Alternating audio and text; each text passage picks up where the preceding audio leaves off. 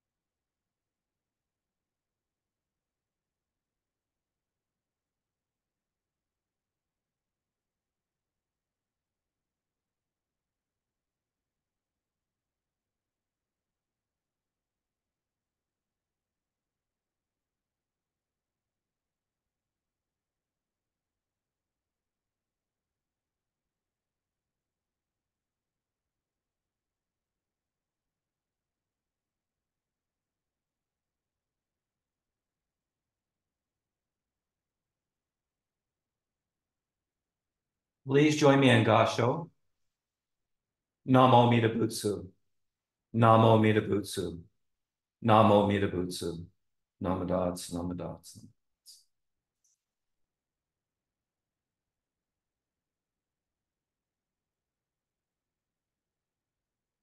So good evening, everyone. If we could join my in chanting, we will be chanting uh, the Jusei Ge, which is on page 55 of the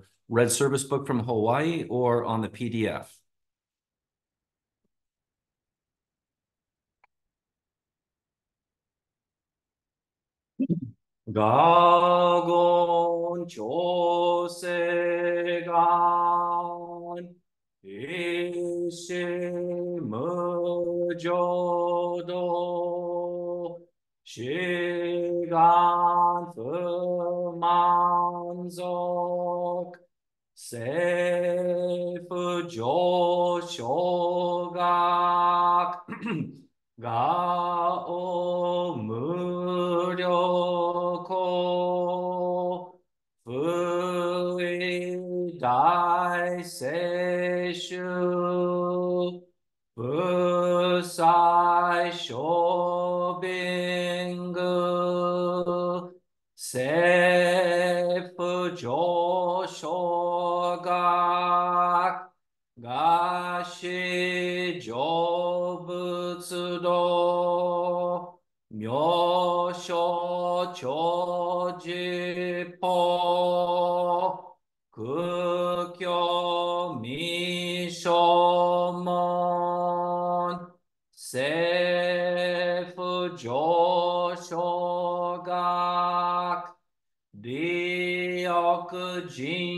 shonen joe shubong yo shigumu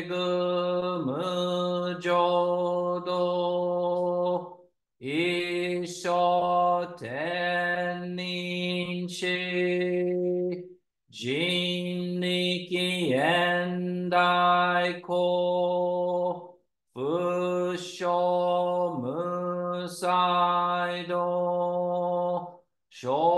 少女三苦名五歳主役難回避知恵言滅死根門案閉塞小悪道 Boxes and Shumon Koso Jomanzok Iorojipo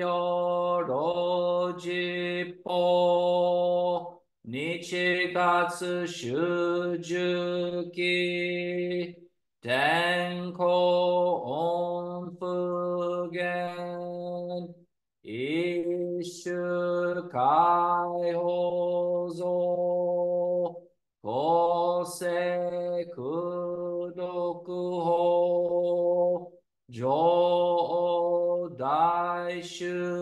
十説法四子空用一切物具足習得本元年出場満得意三害を女仏無下地。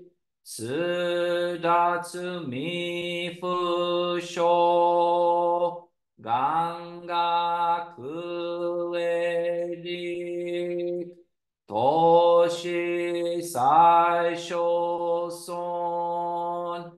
志願や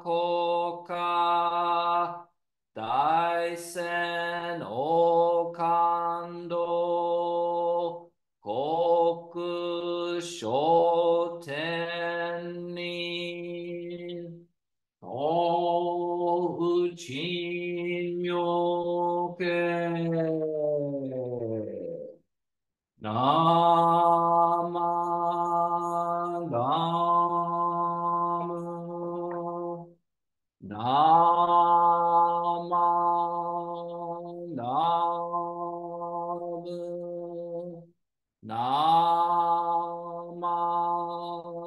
Amen.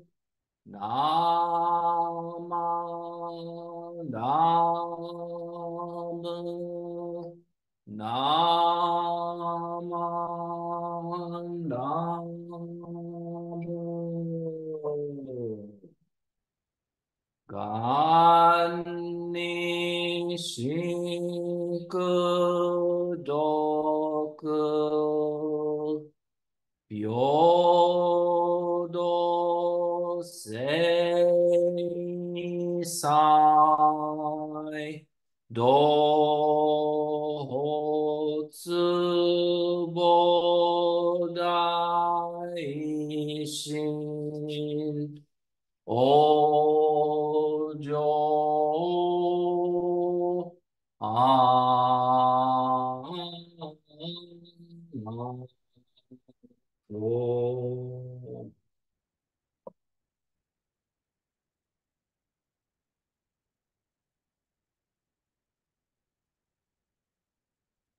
Namadats, namadats, namadats, namadats, namadats, namadats.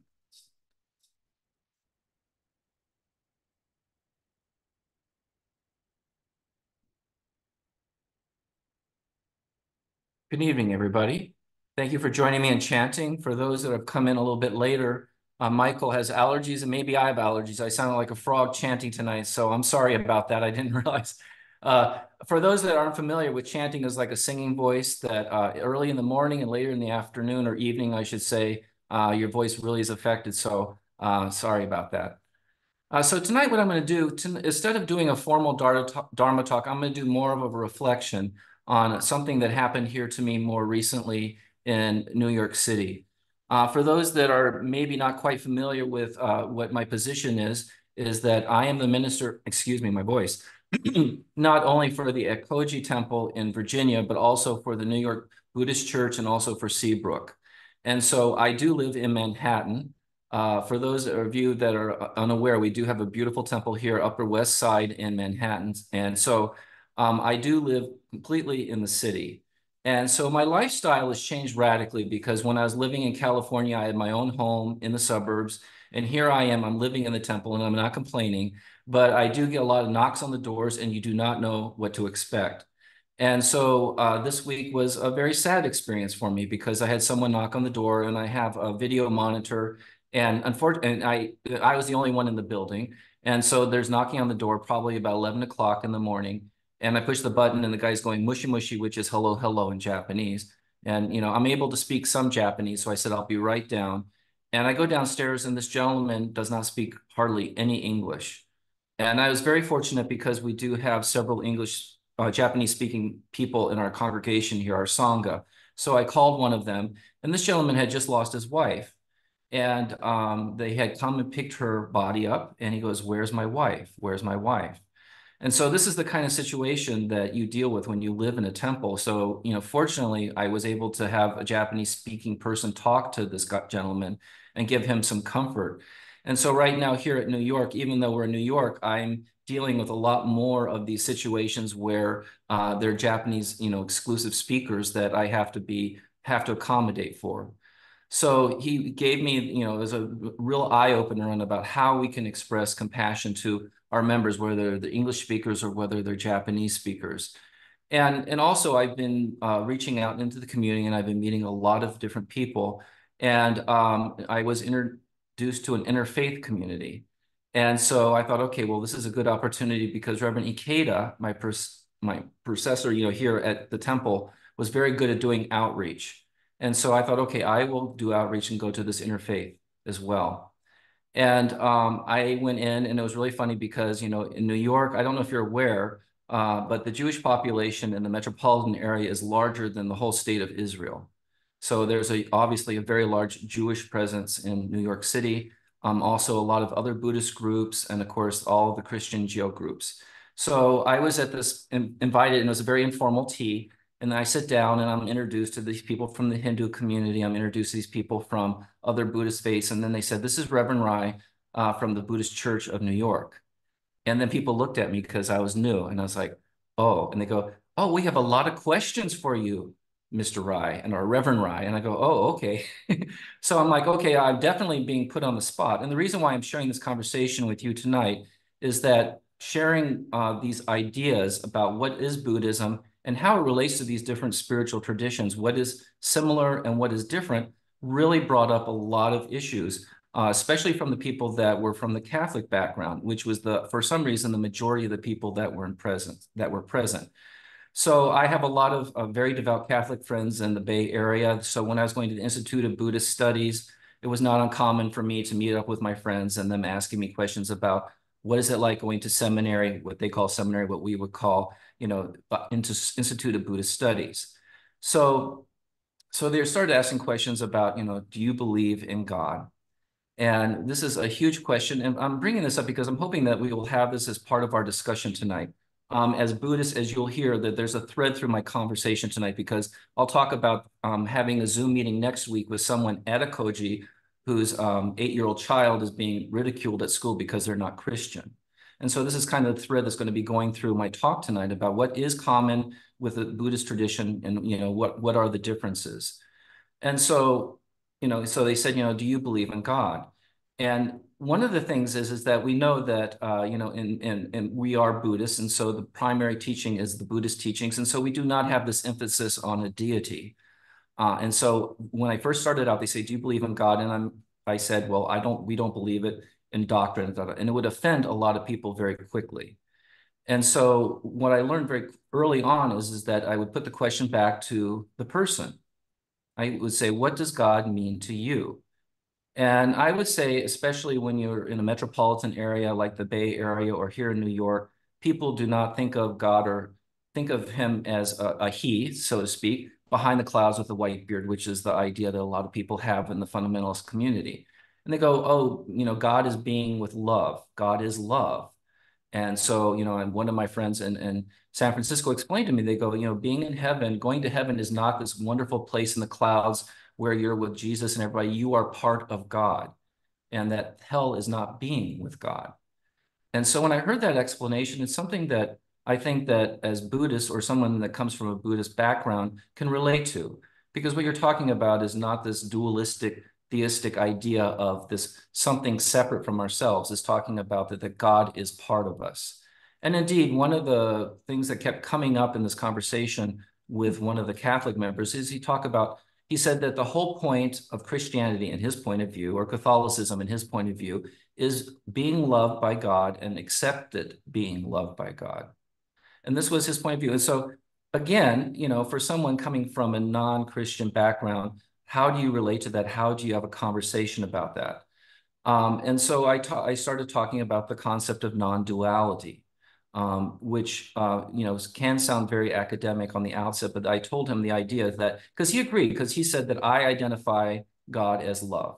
I identify God as not being separate from me, that the idea is that, that, that there is this presence of love. And so we talked about the concept of Buddha nature, um, and again, the idea that there was the historical Buddha, because a lot of people do not realize that there was a historical Buddha. Uh, they think, you know, that the Buddha, they read all these stories or they think about the, the fat man in the Chinese restaurants and they have all these ideas or stereotypes about what a Buddha is. And indeed, if you read some of the texts, I mean, we do have these wonderful sutras that are talking about the Buddha seeing through walls and appearing here and, and materializing in different dimensions. But I said, you know, that the idea that there was a historical Buddha that lived, that reached enlightenment like anybody else is able to, um, really hit a chord with this person uh, coming from a Christian background. But the idea that when I expressed the concept of Buddha nature, that the idea is that we're not focusing on the physical person of Shakyamuni Buddha, we're focusing on the idea of what enlightenment is itself, is what it was the pro not the process that Shakyamuni went through, but what was the outcome of that which we cannot uh, explain intellectually. We've got all these wonderful sutras that try to explain it in metaphor and stories, but it's very individualized on how we understand what this understanding of what enlightenment is. And so for him and the other people in the group, uh, uh, typical in any, any group, there's somebody that's more dominant than the other person. So the, the Catholic gentleman was the one that was asking the most questions. And so he says, well, then if you, you know, so then we all have this potentiality of Buddha nature in this? And I said, yes. And I said, I have met Catholic priests that I feel personally are enlightened. Now, does that mean that they are Buddhist or that they are enlightened in the concept or the boundaries of what we think about as Buddhism? No, but these pers this person or these people have gone through the spiritual path where they have reached this certain point of understanding that goes beyond intellect and is incorporated into their lifestyle. You know, and I know I never had the pleasure of meeting Thich Nhat Hanh um, who I loved his writings. Uh, he was a very gifted writer. He, English was not his native language, but you would read his books and you would understand that his English wasn't perfect, but he would get to the core of the ideas. And I was very fortunate to have friends in Seattle that in the late, in the mid 90s or late 90s actually got to go to a retreat uh, with Thich Nhat Hanh uh, down in California. And their experience was is they are awestruck by him. Not that just simply by how calm he was, how gentle he was, how uh, that you could feel the presence of the Dharma or how, you know, with him. They didn't like his entourage talking about Plum Village, you know, please make donations to Plum Village. No offense, Michael. You know, we have to do that. But, you know, they said that he was separate from that and that, that they had this groundness that they could tell. Because when you talk about, when you read the sutras about the Buddhas, that when he came out of the samadhi or the deep meditation, uh, that when he uh, when the fellow travelers that abandoned him because that he started eating and they felt like he had given up the spiritual path, they could tell without him saying anything that there was something different about him. This condescence is what they talk about, or his presence or his calmness was something that you could see and feel. And that's what I'm reflecting upon in my personal view that I've met people from different spiritual traditions and they have that essence with them. So in my personal view, and sorry if BCA is listening to our Dharma talk tonight, that's what I feel that they have reached an enlightenment in their different form. So, so the idea, so they're talking again, getting back to my my discussion earlier this week with uh, the, the this informal interfaith community. Um, you know, so they're saying, well, can you give us an example of what a Buddhist teaching would be in everyday life? And one of the great experiences, and you've heard me many times before refer about my first assignment, which was at the Fresno Betsuin, which is in Fresno, California. And just so people are aware that Fresno, California is in the middle of the Central Valley, which is uh, the breadbasket, so to speak, for the United States. 80% of our produce, and some of it goes to the world, comes from the Central Valley. So Fresno in itself is this metropolis of about a million people, but everybody that surrounds it, there's hundreds of miles of farms. So it's a very different type of environment. Um, and when it comes to spirituality, very fundamentalist, uh, born again country. So uh, the Fresno Temple was very large. Um, the Junior Buddhist Association, which is Junior YBA, had over 60 members, which is almost the whole membership of Ekoji. But think about that with just the youth. And so, you know, we would try to have them do activities in the community. And I'll be very honest, uh, like a lot of our Buddhist churches of America Temple, I think a lot of our membership is middle class or above, college educated. Um, and so this is not any different at Fresno. So their parents had been farmers, but they were going to college. They were dentists and, and physicians. And so the idea they we had a homeless shelter in Fresno, actually very close to the original temple downtown, which is now longer part of Jodo Shinshu is a, a Burmese temple. They sold it to a Burmese group. But this was in the middle of the old downtown, which had a lot of homeless population. And this is before COVID. So um, I can imagine what it's like now. But uh, so we had the homeless shelter and they would serve meals three times a day. And so we asked our junior YBA, our, our teenagers, would you like to go and serve a meal? And it was an interesting experience for them because this was going out out of their comfort zone. And many of the members knew that I had worked with the homeless previously in Seattle. So they thought that it would be a good idea for me, not only as a Buddhist minister, but as a former social worker to take these kids and show them the reality of what it is like to live on the streets. And so we go there and they're wearing their junior YBA shirts. So they're very self-conscious about wearing the shirt that identified them as Buddhist. And I said, no, this is a great thing because people need to see in the community. We know that we're Buddhist, but you know, we're an unspoken of tradition that a lot of people overlook because we don't, you know, advertise, so to speak.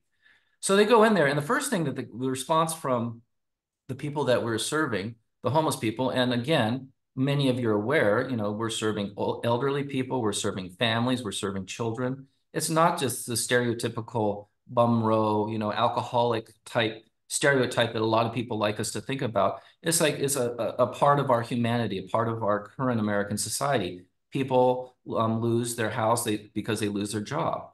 And so these are the people that are being, and so here we are, the high school students are serving and they're going, hey, you're Buddhist.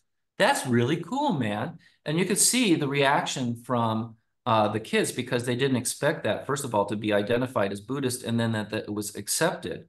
Because as I've mentioned in other Dharma talks, at the same time, I had a student that came very tear-eyed to me because um, one of her co-students found out in high school that she was Buddhist and she said, you're going to go to hell. You know you're going to go to hell. And so my poor junior YBA kid came to me crying because what do I do about that? So here they get affirmation for being Buddhist but then when we finished, part of the Dharma lesson wasn't just giving the food. The Dharma lesson was, is what is your experience? You know, what is your perception of who the people are, why they are here? So we go out and we go into the, the temple literally was three blocks. The old temple is three blocks from the center. So we walk back and I take them and I put them in the hondo to kind of remind them of the traditional Buddhist atmosphere. And I said, well, why do you think these people were homeless? And a lot of the stereotypical things come out. Oh, they're druggies or they're alcoholics. And I am not going to downplay in the homeless community, there is a huge substance abuse problem. There's no denying that. And then I and then people say, well, they want to be there. And I looked at them and here they are. You know, these kids are like the top of their class. They're going to go to a, a good university. They're bright. I go, who would want to be homeless? And you could see the wheels going around in their mind. And they said, uh, and then I said, and then I started talking about the economic realities is that, you know, that you can get in a car accident, you lose your car, you can't go to work, therefore you lose your apartment and your family is in a homeless shelter. It could be any one of us. And that was a step. And this is why I was telling the people in New York, getting back to this interfaith discussion is like with the kids is like what I wanted them to understand from a Buddhist perspective was is that we weren't there to help the poor homeless people. We were not there to give them food and make ourselves feel better about doing a service. Our whole point was is that we could understand that with us, that any of us could be in that exact same situation. It takes one car crash, it takes a parent passing away, it takes someone falling on the street and, and, and hurting themselves and not being able to go to work. But most important also is we talk about at Ekoji, is that when we do, for those that are lucky enough to come in to the Sunday service, is that, you know, when we do Oshoko, we bow to the Onaijin or to the altar, but then we bow to the people that are doing the service. We're not bowing to them because they've done the service. We're acknowledging their Buddha nature. And this is what I was trying to convince to the junior YBA 15, 20 years ago. And I think it's stuck with some of them that, you know, we're not here because we're doing a good deed and we're helping the people that are below us because we realize that the interconnectedness of life, that we all have Buddha nature, that we can all be in the situation, and that the causes and conditions is that we're here today, and hopefully that there'll be another group there tomorrow to help feed these people. Um, and I will say one gripe uh, working with the homeless population for many years in Seattle is that, you know, Thanksgiving, all these volunteers show up you know, and, and they're, they're sincere. And I don't mean to downplay that, but it's like, where are you on July 4th? Where are you on January 2nd? Where are you on October 20th? It's like this idea of this reciprocal that this could be any one of us. So I thought it was a very good conversation with the junior YBA. And I thought this example kind of opened up to these non-Buddhist people that were in this interfaith community that, you know, sharing the idea of Buddha nature perhaps like my Christian friend who kept saying, you know, expressing the love of God and just accepting it. I don't think it's exactly the same thing, but there's this idea that there is something inherent that goes beyond us, that is within us, that we can acknowledge in each other. And he appreciated this very specific example of us serving without serving, with us being present, so to speak. So I hope my sharing this discussion with you tonight will open up for us the discussion that we can talk about um, what it is what it is like to be a Buddhist in a Christian geo uh, society. And as I mentioned at the beginning of this talk, um, I I still receive a lot of emails from Ekoji um, asking for me to do meetings. And this meeting that I'm going to have next week um, is from somebody that's not part of Ekoji. They don't identify as Buddhist. She says, um, I identify with the Buddhist teachings more than anything else. And my eight-year-old son in Fairfax, Virginia, is getting ridiculed, even though he's because people view him as a non-Christian, though he technically is not. Can we have a meeting with you? And I thought, how fascinating that this mother with this young child would like to have a meeting with myself. She was under the impression that I was in, in, in at Ekoji, and I told her it was going to be a Zoom meeting, and she was fine with that. But again, this idea of that this of us coexisting together, which we know has caused a lot of political divide, uh, especially in the last few years here in the United States. But you know, the acknowledging and supporting of each other, uh, and for whether for us, as we say, we acknowledge each other's Buddha nature, or whether it's the Catholic person that says that we're sharing God's love, is the idea that we're all part of humanity. So if you could please join me in Gassho. Namo Amida Butsu. Namo Amida Butsu. Namo Amida Butsu.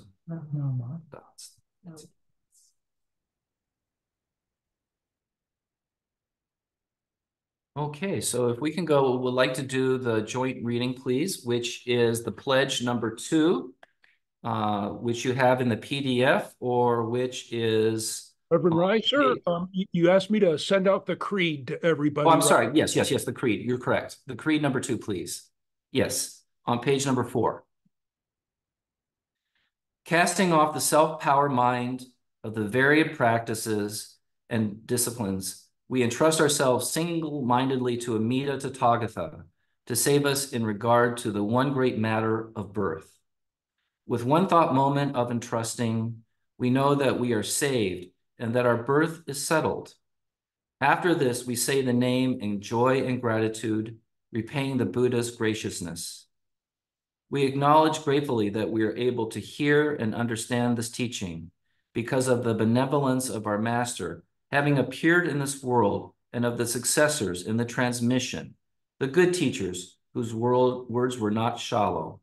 Beyond this, we will observe the established rules of conduct throughout our lives. Namo Amida Butsu. Namo Amida Butsu. Namo Amida Butsu.